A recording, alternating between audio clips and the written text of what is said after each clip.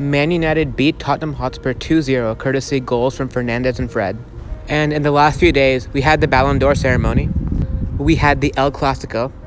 We had Man City versus Liverpool and obviously Man United versus Tottenham.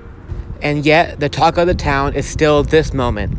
Cristiano Ronaldo walking down the tunnel before the full-time whistle is blown in the United v Tottenham game. Ronaldo was an unused sub in United's win versus Tottenham. And in the entire Premier League this season, he's only played 90 minutes once. So far this season, Ronaldo has come off the bench as a sub for Ten Hag. But today, Erik Ten Hag brought on Anthony Elanga and Christian Eriksen towards the end of the game and not Ronaldo. And towards the last few minutes of the game, Ronaldo stormed into the tunnel. The reason right now is unclear, but it's likely due to the fact that Ronaldo felt frustrated and disrespected by Erik Ten Hag and Man United.